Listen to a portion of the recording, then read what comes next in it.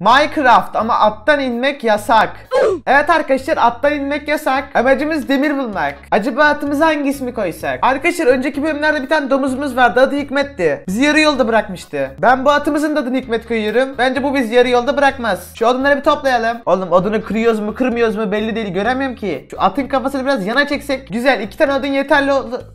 Oğlum ben nasıl crafting table yapacağım? Hmm, bunu pek düşünemedim. Oğlum bizim köy bulmamız lazım ya. Two hours later. Arkadaşlar köyü buldum. Sonunda be. Gerçek hayatta yoruldum resmen. Bu arada atımızın özellikleri var ha. Böyle zıplayabiliyor. E, Ama sadece bu özelliği. Bir de hızlı gidiyor. Şimdi bak bu köyde illa demir vardır herhalde. Bir çekilir misiniz köylü adamlar? Ağzına sıçıp sıkıştım. Lan öleceğim. Çık şu tamam tamam. Sakin sakin. Bazen çok panik oluyorum. Oğlum buradaki demirci nerede? Sandıkta ne var acaba? Arkadaşlar aklıma mükemmel bir taktik geldi. Tamamdır bu taktik için birazcık toprak kastım. Lan golem nereye gidiyorsun? Buraya gel. Kaç kaç kaç.